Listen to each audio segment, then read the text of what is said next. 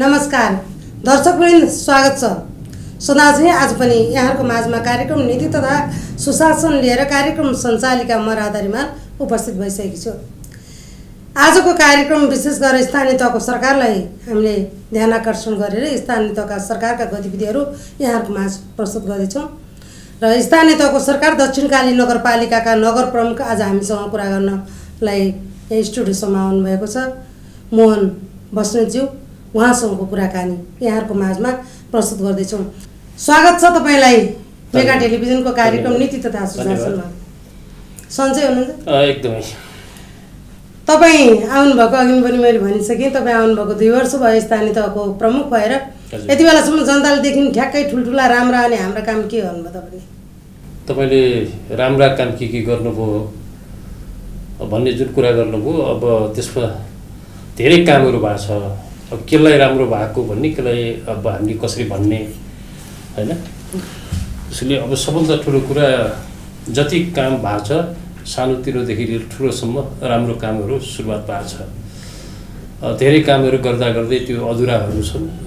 अवश्य पनि जनताले चाहे अनुसारको काम गर्नको लागि हामी व्यस्त छौँ। विकास निर्माणको कामहरू गर्दा गर्दै हामीलाई फेरि चाहिँ एउटा यो देशमा महाभूकम्पपछि फेरि एउटा बाढी पहिरोको एउटा चपेटामा हामी फसेको छौँ। त्यो बाढी पहिरोबाट चाहिँ पीडित नगरवासीहरूको लागि सक्दो राहत उपलब्ध गराउने र विपदको बेलामा एउटा चाहिँ नगरको जनप्रतिनिधिको हैसियतले हैसियतले हामीले चाहिँ काम गर्नुपर्ने जुन काम हो त्यो कामलाई अगाडि बढाइराखेको छौँ। धेरै कुराहरू एउटा नगरवासीले चाहे जस्तो र सबैले एउटा देखिने किसिमको काम होस् भन्ने जुन शुभेच्छा हो त्यो शुभेच्छा अनुसार धेरै कामहरू हामी अगाडि बढिरहेको छौँ। तर अहिले यही काम यति गरेँ भनेर भन्नुभन्दा पनि हामीले विषयगत कामहरू अगाडि बढाएको छौँ। शिक्षाको क्षेत्रमा नगरवासीले चाहे अनुसारको परिवर्तनको लागि हामीसँग भएको उन्नाइसवटै सरकारी विद्यालयहरूलाई परिवर्तनको लागि अगाडि बढाइरहेका छौँ। भवन नभएको ठाउँमा भवन निर्माणको काम अगाडि बढिरहेको छ। लगभग हामीसँग उन्नाइसवटा सरकारी विद्यालयभित्र तेह्रवटा विद्यालय हामी एउटा चाहिँ पुनर्निर्माणको कार्यबाट अगाडि बढा बढाइराखेको छौँ।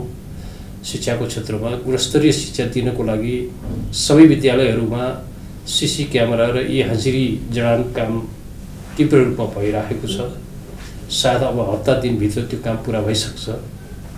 गुणस्तरीय शिक्षा दिनको लागि आवश्यक कामहरू नगरबाट सबै विद्यालयमा अगाडि बढेको छ। र यहाँले अघि कुरा गर्दा गर्दै यी हाजिरीको कुरा गर्नुभयो। यी हाजिरी र हाजिरी जस्तो पहिला हुन्थ्योमा त्यसमा के फरक पाउनु भएको छ तपाईँले त्यस्तै? होइन यदि फरक नहुने हो भने यी हाजिरीको आवश्यकतै पर्ने थिएन। त्यो आवश्यकता भएर नै त्यो पनि एउटा बनाउने काम भयो। र कम्पनीले त्यो बनाउने सँगसँगै हामीलाई पनि त्यो त्यसको आवश्यकता छ भन्ने महसुस भयो। यतिखेर मैले टेलिभिजन मार्फत किन यी हाजिरी आवश्यक पर्यो भनेर मैले त्यसलाई धेरै व्याख्या गरिरहनु भन्दा पनि एउटा सिस्टमले विद्यालय चल्नको लागि पनि एउटा यी हाजिरीको जरुरी छ। को कतिखेर आयो कतिखेर गयो भनेर थाहा पाउनुपर्ने त्यो एउटा नगरपालिकाको त्यो दायित्व हो। त्यो दायित्व पुरा गर्नको लागि पनि यी हाजिरी राखेर त्यो रजिस्टरमा मात्र हाजिरी गर्ने परम्पराभन्दा अझ एक कदम अगाडि उठेर हामी त्यो हाजिरी कसरी भयो शिक्षकहरू टाइममा आउनुभयो कि आउनु भएन भनेर एउटा चाहिँ अनुगमन गर्नको लागि पनि यी हाजिरीको आवश्यकता छ यो कसरी कसरी हेरिरहनु भएको छ यसलाई जस्तो शिक्षाको त स्कुल स्कुलमै हुने कुराहरू हुन् अब कर्मचारी नगरपालिका कर्मचारीलाई तपाईँले हेर्नु सक्नु होला होइन सबभन्दा ठुलो? कुरा हेर्नुहोस् अब तपाईँहरूले के भन्दाखेरि अहिलेको उसमा नगरपालिकाको कर्मचारीलाई मात्र सीमित नगरपालिकाले। हेर्ने भन्ने कुरा होइन। आफ्नो नगर क्षेत्रभित्र रहेका सबै विद्यालयहरू सबै स्वास्थ्य चौकीहरू सबै त्यहाँ भएका चाहिँ काम गर्ने शाखा प्रशाखाहरू सबैलाई नगरपालिकाले नगरबाटै हेर्न सक्ने प्रविधिहरूको जडान गर्न खोजिएको हो। सबै विद्यालयहरूमा सिसी क्यामेरा जडान गरेर नगरपालिकामा त्यहाँभित्र भएको शैक्षिक गतिविधिहरू निहाल्नको लागि चाहिँ हामीले यो लगानी गरेका हौँ। र हामीले धेरै अब शिक्षाको क्षेत्रमा एउटा अग्रगामी फड्को मार्नको लागि विकास निर्माणभन्दा पनि शिक्षामा हामीले धेरै लगानी गर्दैछौँ। र आशा राखौँ यो लगानीले सही प्रतिफल पाउँछ। शिक्षाका कुरा गरिरहँदा केही नगरपालिका एउटा नमुना नगरपालिकाको रूपमा गोकर्णेश्वर नगरपालिकाले पहिलो पटक नै मुलुकमै पहिलो पटक स्थानीय तहको शिक्षा चाहिँ गो पढ्नै पर्ने कम्तीमा पनि आठ कक्षासम्म एक कक्षाबाट त्यो पुस्तकहरू चाहिँ निका तयार गरिसकेको अवस्था हो लागू गर्ने प्रक्रियामा छ। अनि तपाईँहरूको नगरपालिकाले पनि त्यस्तो नीतिगत रूपमा केही ल्याउनु भएको छ शिक्षालाई? अहिले सबभन्दा ठुलो कुरो नगरपालिकाले आफ्नो नगर स्तरीय कोर्सहरू तयार धेरै स्थानीय तहले सरकारहरूले गरेको खबर त हामी पनि सुन्छौँ। लाग्छ हामीलाई पनि कतै हामी पनि कुनै स्थानीय कोर्सहरू तयार गरौँ कि भन्ने जमर्को त हामी छौँ तर त्योभन्दा पनि अहिले चाहिँ हामी यो दुई वर्ष चाहिँ कसरी व्यस्त भयौँ त भन्दाखेरि शिक्षामा आम नगरवासीले चाहे अनुसारको प्रगति गर्नुपर्छ जसमा एउटा व्यावसायिक शिक्षा पनि हुनुपर्छ भन्ने हिसाबले हामीले नगरभित्र भएका सबै सरकारी विद्यालयहरूलाई त हामीले कोसिस गऱ्यौँ गऱ्यौँ। तर संस्थागत विद्यालयहरूलाई पनि यो नगरवासीका छोराछोरीहरू पढ्ने विद्यालयहरू हो यिनीहरूलाई व्यवस्थित र राम्रो चाहिँ एउटा गुणस्तरीय शिक्षा दिन सक्ने किसिमको परिस्थिति निर्माण गर्ने कार्यमा हामी लागि परिरहेका छौँ। तपाईँले भन्नुभयो गोकर्णेश्वर नगरपालिकामा नगर स्तरीय कोर्स तयार गरेर उहाँहरूले एउटा नौलो काम गर्नुभयो। त्यो कामको म पनि स्वागत गर्छु र सँगसँगै राम्रो कामको हामी पनि त्यो सिको गर्नुपर्छ। तर। दक्षिणकाली नगरपालिकामा चाहिँ शिक्षाको क्षेत्रमा के के राम्रो भयो भन्ने महत्त्वपूर्ण कुरा हुनसक्छ त्यसैले मैले अब गोकर्णेश्वरमा कोर्सको कुरा गर्नुभयो भने दक्षिणकाली नगरपालिकामा सबै सरकारी विद्यालयहरूमा सिसी क्यामेरा जडान गरेर त्यहाँ भएका शैक्षिक गतिविधिलाई नगरपालिकाको नगर प्रमुख र प्रमुख प्रशासकीय अधिकृतको कोठामा टेबलमा सबै गतिविधिहरू चाहिँ बुझ्न सक्ने किसिमको क्षमता विकास गर्न थालियो। यो पहिलो कुरा भयो। सायद अन्त कति भयो के भयो मैले अरूले गर्नुभयो गर्नु भएन भनेन। त्यो एउटा नयाँ काम हो नयाँ। काम हो भन्ने हामीले बुझिरहेका छौँ। र यति मात्र नभइकन हरेक अब हामीसँग भएका माध्यमिक विद्यालयहरूलाई विषयगत एउटा कलेजको रूपमा हामी परिणत गर्दैछौँ। अब त्यसै गरी प्राविधिक कलेजको रूपमा हामीले कृषि कलेजको रूपमा कामधेनु माविलाई अगाडि बढाएको छौँ। त्यो त्यसै गरी फर्पिङ माविलाई प्राविधिक कलेजको रूपमा त्यसलाई अगाडि बढाएको छौँ। यसै गरी त्यहाँभित्र भएका सरकारी विद्यालयहरूलाई क्रमागत रूपमा प्रमोसन गरेर नगरवासीको छोराछोरीहरू यस्ता प्राविधिक विषय लिएर पढ्नको लागि बाहिर जान नपरोस् भनेर हामीले नगर क्षेत्रभित्रै। विद्यालयहरूलाई अगाडि बढाउँदैछौँ। र यी काम शिक्षामा हामीले शिक्षामा तपाईँहरूले यसरी अब भनौँ नगरपालिकाकै विशेष पहल र रेखदेखमा कृषि प्राविधिक शिक्षा हुँदैछ अन्य विषयलाई लिएर भने बोर्डिङहरू पनि त्यत्तिकै छन् प्राइभेट स्कुलहरू पनि त्यत्तिकै छन्। ती स्कुलहरूलाई कसरी हेरिनु भएको छ? ती प्राइभेट शिक्षा लिन चाहने अभिभावकले त अवश्य नै सामुदायिक विद्यालयमा त ल्याउँदैन। त्यसको व्यवस्थापन त्यति राम्रो देखिन्न। अहिलेको अवस्थामा तपाईँहरू आइसकेपछि के त्यस्तो पर्यो? एकदमै? एकदमै। अब तपाईँको प्रश्न तपाईँको मात्र नभइकन पुरै देशवासीको यस्तै यस्तै प्रश्नहरू हुनसक्छ। र त्यसभित्र दक्षिणकाली नगरवासीको पनि भनाइ अवश्य पनि योभन्दा फरक छैन।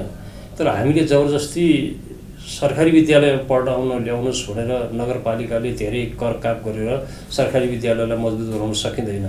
जहाँसम्म नगरवासीलाई अब सरकारी विद्यालय पनि प्राइभेट बोर्डिङभन्दा कम छैन है भन्ने खालको परिस्थिति त्यहाँभित्रको गृह कार्य हामीले अगाडि बढाउनु पऱ्यो मानव एउटा कुरा त्यो विद्यालयको भौतिक सुविधा राम्रो छ कि छैन भनेर भन्नको लागि अहिले मैले तपाईँ तपाईँलाई भर्खरै भने हामीसँग उन्नाइसवटा सरकारी विद्यालयमा अहिले तेह्रवटा विद्यालयमा हरेक कोठामा पङ्खा भएको जाडो बेलामा तातो हुने र चिसो बेलामा एउटा चाहिँ फाइन जुन चिसो बेलामा तातो हुने यो गर्मीमा चाहिँ पङ्खा भएको यस्तो किसिमको चाहिँ एउटा प्रविधिसम्म जडान भएको भवनहरू तेह्रवटा भवन लगभग हामी अगाडि बढिसकेको छ। र सँगसँगै त्यो विद्यालयमा बच्चाहरूलाई भोकाउन नपरोस् भनेर चाहिँ साना बच्चाहरूलाई खाजाको व्यवस्था मिलाइदिएको छ। र धेरै कुराहरू यस्तो चाहिँ हामीले चाहिँ राम्रोसँग अगाडि बढाएको कारणले अब तालिम प्राप्त टिचरहरूको व्यवस्था एकपछि अर्को मिलाउँदैछौँ। र यस्तो भइसकेपछि नगरवासीले अवश्य पनि कुरा बुझ्नुहुन्छ। किनभने के को लागि त प्राइभेट बोर्डिङ स्कुलमा लैजाने भन्ने उहाँहरूले पनि सोच्नुहुन्छ दिनानुदिन। सोचिसकेपछि त्यति राम्रो कोठा त्यस्तो राम्रो चाहिँ व्यवस्था भएको ठाउँ र दक्ष एउटा तालिम प्राप्त टिचर र सबै कुरा भएको ठाउँमा नगएर हामी प्राइभेटमै जानुपर्छ भन्ने खालको उहाँहरूको चाहिँ सोच होइन। मात्र के भने केही समय अगाडि सरकारी विद्यालयमा चाहिँ जागिर पकाउने मात्र प्रविधि अलिकति भएको हो त्यो केही कमजोरी भएको हो। अब अहिले सबै शिक्षक शिक्षिकाज्यूहरूमा पनि अब हामी यसरी हुँदैन।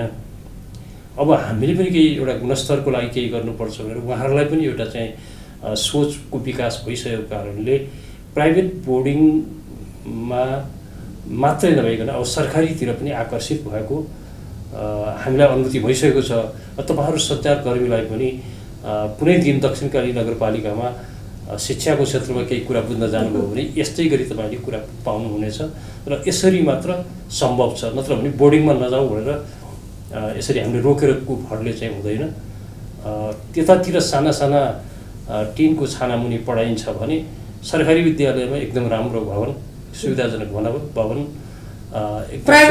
बढी सुविधा त्यहाँ हुन थालेपछि अवश्य पनि दिनानुदिन आकर्षण सरकारीमै आउँछ। तर अब केही बोर्डिङ स्कुलहरूमा पनि हाम्रो भनाइ चाहिँ के छ त भन्दाखेरि बोर्डिङ स्कुल भनेको पनि त्यो नगरवासीकै छोराछोरीहरू पढेको ठाउँ हो। त्यसको लागि पनि हामीले केही व्यवस्थापन चाहिँ गर्नुपर्छ भनेर तालिमको हकमा हामी सरकारी र बोर्डिङ स्कुल दुवैको सर मिसहरूलाई तालिमको लागि हामी व्यवस्था मिलाउँदैछौँ हामी लगभग सबै कुरामा बराबरी गर्न नसके पनि बोर्डिङ स्कुलहरूलाई पनि नगरपालिकाले केही हेर्नुपर्छ भन्ने खालको सोच हामी अगाडि बढायौँ हामी यतातिर अब फेरि विकासतिर गयौँ। यहाँनिर विकास निर्माणका काम र सामाजिक विकासका कार्यलाई जुन तपाईँले अघिल्लो वर्ष चाहिँ विनियोजन गरेका बजेटहरू लगभग कति प्रतिशत चाहिँ कार्यान्वयन पछिमा लानुभयो? होइन अब यहाँले सोध्नुभएको प्रश्न मुलुकको खर्च एकदमै कम भयो भनेर चिन्ता र चासो जुन मानिराखेको बखतमा दक्षिणकाली नगरपालिकाको छुट्याएको बजेट चाहिँ लगभग म त भन्छु झन्डै झन्डै बयानब्बे पर्सेन्ट चाहिँ काम पुरा भएको छ धेरै काम भएको छ केही पर्सेन्ट काम केही हुन नसकेको थोरै मात्र छ। धेरै उत्साहजनक ढङ्गले विकास निर्माणहरू अगाडि बढेको हो। तर एउटा कुरा चाहिँ हामीले के सुधार गर्न अलिकति हामीलाई गाह्रो पऱ्यो त भन्दा जुन हरेक वर्ष यो असार मसान्ततिर चाहिँ पर्ने चापाचापलाई अलिकति सुधार गर्नको लागि हामीले अलिकति धेरै क्रिया कार्य गरेको थियौँ। तैपनि हामीले एकैचोटि यो मानसिकतालाई चाहिँ अलिकति घटाउन चाहिँ सक्यौँ तर पुरै गर्न सकेनौँ। त्यसकारण विकास यसको दोष सङ्घीय सरकारलाई? होइन त्यसको दोष सङ्घीय सरकार मात्र नभइकन हाम्रो मानसिकता पनि हो। प्रत्येक मान्छेको उसमा चाहिँ के भने अघि पछि अलिकति फुर्सद गरिरहने जब जब अलिकति टाइम घट्किँदै जान्छ अनिखेरि बढी चाहिँ विकास त्यो। उपभोक्ताको मानसिकतामा पनि त्यो छ। त्यो सङ्घीय सरकारलाई मात्रै दोष दिने कुरा होइन। र अब चाहिँ हामी चाहिँ अहिले हामीले चाहिँ छलफल गरेका छौँ। यो पटकको सभामा पनि हामीले छलफल गरेका छौँ कि कमसेकम हामी चाहिँ जेठ महिनाभन्दा पछि चाहिँ हामी केही पनि नगर्ने सबै जेठ महिनासम्म सकिसक्नुपर्ने योजनाहरू भनेर चाहिँ हामी चाहिँ केही कुरा अगाडि बढाइरहेका छौँ। अवश्य पनि आउने वर्ष चाहिँ त्यसलाई हामी कडाइका साथ लागू गर्छौँ। तपाईँले अघि भन्नु बयानब्बे प्रतिशत आठ प्रतिशत चाहिँ के को कारणले काम हुन सकेन? होइन आठ प्रतिशत विभिन्न कारणले हामी चाहिँ यो चाहिँ तपाईँको जो सशक्तका जुन कुराहरू छन् ती सशक्तका कुराहरू हामीले कर्मचारी समयमा नभएर होइन समयमा विषयगत कर्मचारीहरू नहुँदाखेरि पनि खर्च गर्न गाह्रो हुँदो रहेछ। यी धेरै कुराले गर्दाखेरि सशक्तका केही रकमहरू फर्कियो। र अब यो फर्किएको कुरालाई चाहिँ के भने अब सङ्घीय सरकारले समयमा कर्मचारीहरू चाहिने कर्मचारी पठाउन नसक्नु एउटा कारण भयो। अ, चाहिने भन्दा नचाहिने चाहिँ कर्मचारीहरू चाहिँ बढी आउने विषयगत जुन आवश्यक कर्मचारीहरू त्यो चाहिँ नहुने। यी विविध कारणले गर्दाखेरि हामी त्यति अलिकति हन्ड्रेड पर्सेन्ट गर्न सकेनौँ। त्यसमा अब हामीले नसकेको कुरालाई नसकेको भन्नुपर्छ। र अवश्य पनि आउने वर्ष त्यो हुने छैन। आउने वर्ष हामी शत प्रतिशत छुट्टिएको रकम पुरा गर्छौँ। यो आगामी वर्ष अब आर्थिक वर्ष दुई हजार छयत्तर सतहत्तरको लागि निश्चित रूपमा तपाईँले कुन चाहिँ योजनालाई चाहिँ प्रमुख आधार मानेर प्राथमिकता दिएर कार्यान्वयन पछितिर लाँदै हुनुहुन्छ? होइन सबभन्दा यहाँले सोधेको प्रश्नमा अब दक्षिणकाली नगरपालिका आफैमा एउटा चाहिँ छुट्टै किसिमको पहिचान बोकेको नगरपालिका भूगोलको हिसाबले हेर्नु हेर्नुहुन्छ भनेदेखि डाँडा काँडाले बढी चाहिँ भएको चाहिँ एउटा नगरपालिका भएको कारणले त्यहाँ चाहिँ अब मोटर बाटोमै अलिक बढी प्राथमिकता पनि छ। र सँगसँगै शिक्षामा पनि त्यत्तिकै हाम्रो लगानी भएको छ। लगानी हामीले छुट्याएको छौँ। र स्वास्थ्यमा पनि त्यही मात्रामा छ। अब दक्षिणकाली नगरपालिकाको सत्तरी वर्ष पुगेका सबै वृद्ध विद्याहरूलाई तपाईँ त कार्यक्रममा पनि सहभागी भइसक्नु भएको छ। हरेक वर्ष बुढाबुढीहरूलाई एउटा तातो कपडा दिने होइन? न्यानो कपडा दिने अनि उहाँहरूलाई सम्मान गर्ने कार्यक्रम त लगाएर यो दुई वर्ष त पुरा भइसक्यो। त्यो वर्षको कार्यक्रम पनि छ।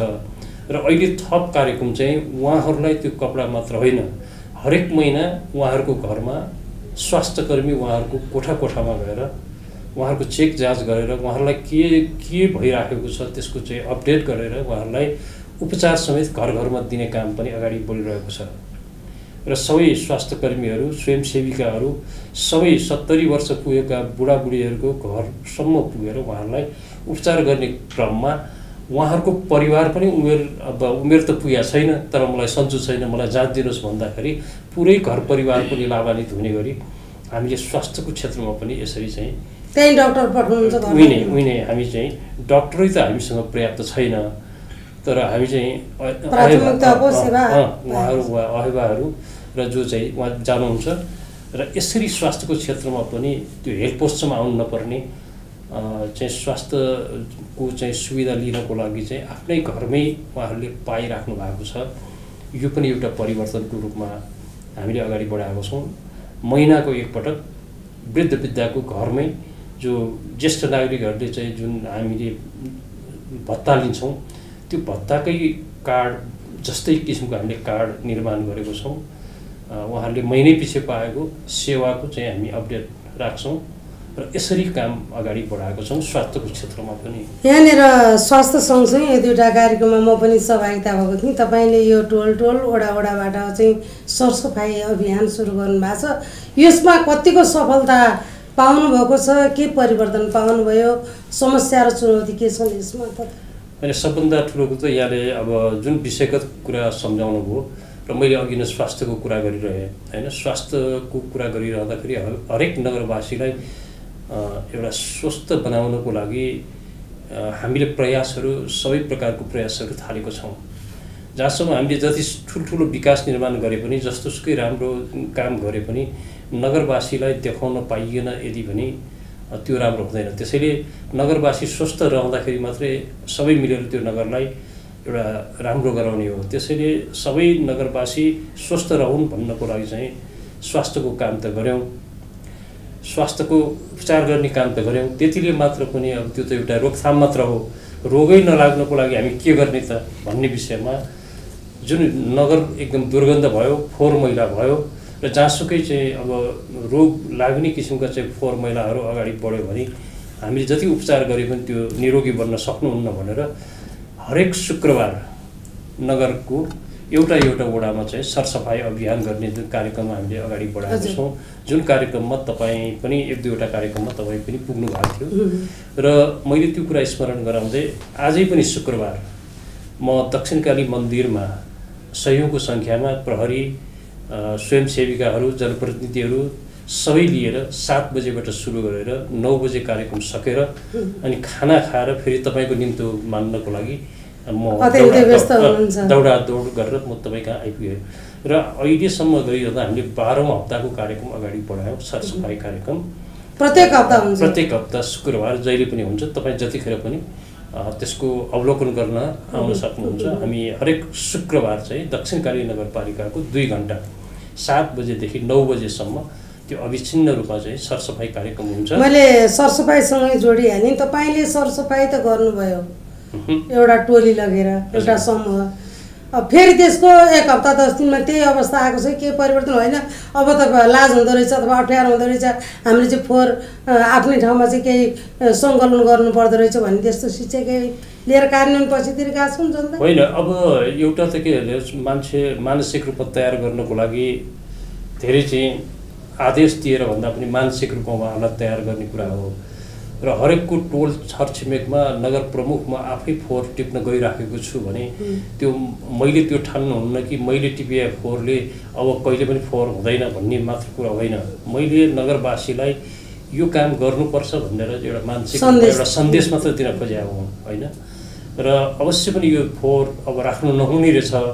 त्यो नहुने भएकै कारणले जनप्रतिनिधिहरूले त्यस्तो गरिरहेका छन् भने हामीले पनि यसलाई सफा गर्नलाई मद्दत गर्नुपर्छ भन्नेको सङ्ख्या दिनानुदिन बढेको अनुभूति मैले पाएको छु।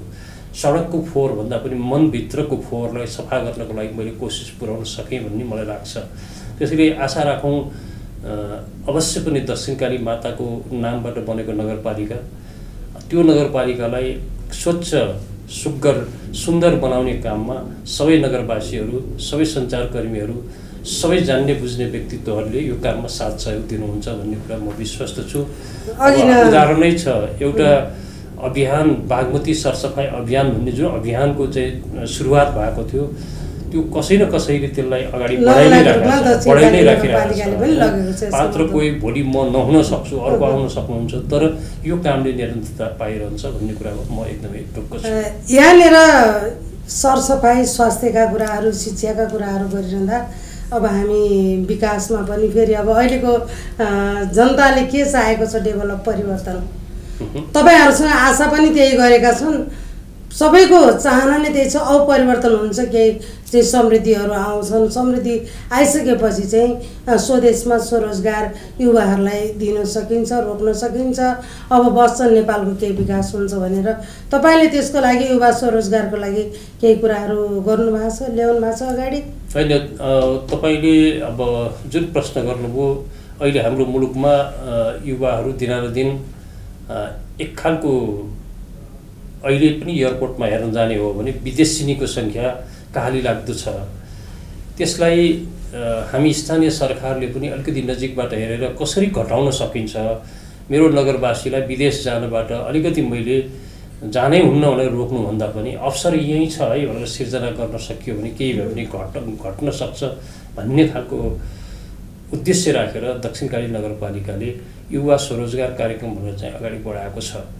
त्यो लगभग हामीले चाहिँ चालिसजना हाराहारी चाहिँ युवाहरूलाई हामीले त्रिभुवन आदर्श माध्यमिक विद्यालयको माथि हलमा मूर्तिकला र थाङ्का बनाउने कार्यक्रम कपाल काट्ने कार्यक्रमदेखि लिएर अरू धेरै रचनात्मक कामहरू युवाहरूलाई हामी रोजगारी दिइराखेको छ दिन अगाडि बढाइरहेका छौँ र अहिले हामी उहाँहरूलाई रोजगारी भनेर चाहिँ मासिक तलब भन्दा पनि अहिले उहाँहरूले काम सिकुन्जेसम्म महिनाको छ हजार रुपियाँ खाजा खर्च गरेर हामीले उहाँहरूलाई अगाडि बढाएको छौँ।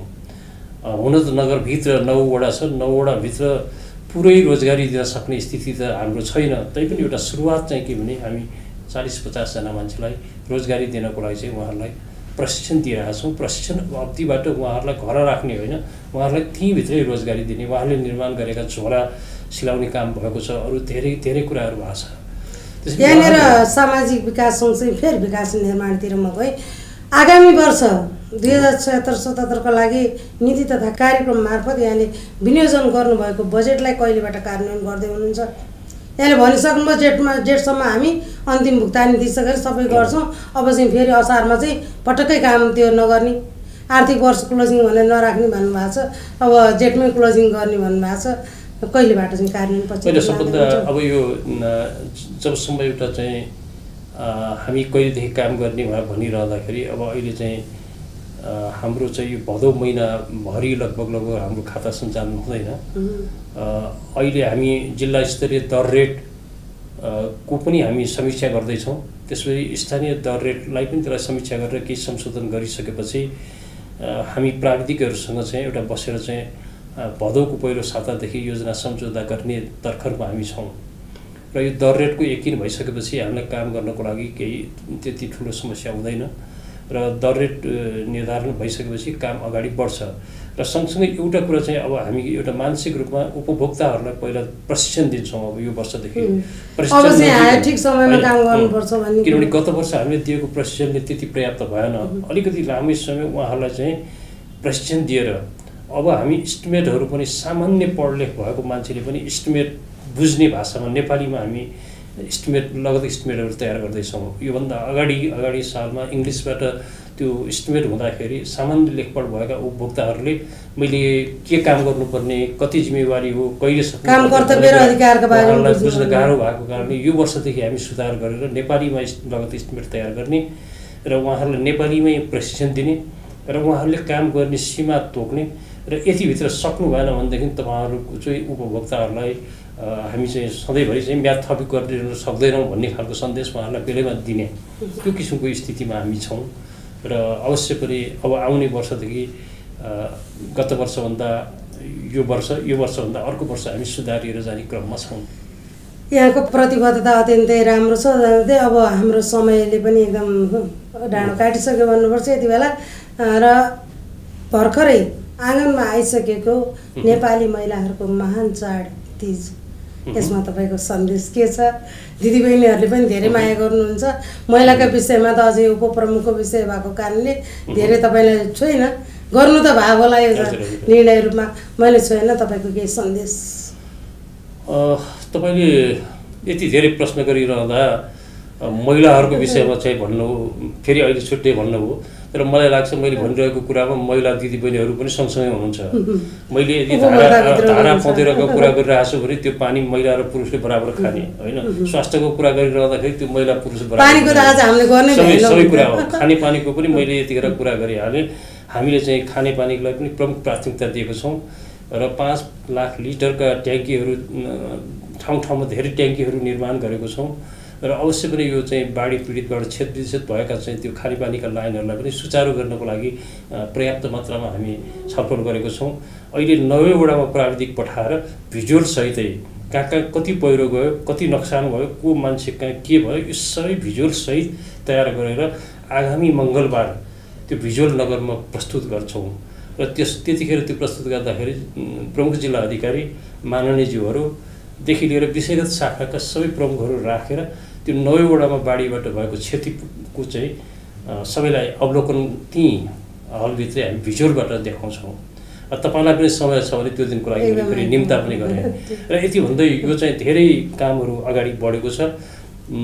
अब नेपाली महिलाहरूको आउँदै गरेको एउटा तिज पर्व जो छ हामी त्यो एउटा भन्ने चलन छ नि नाउँ चाहिँ एउटाको खाने त सबैले हो र दोष चाहिँ महिलाहरूलाई दिने तर त्यो तयार भएको चिज खाने त पुरुष सबै बाँडेरै खाने हो।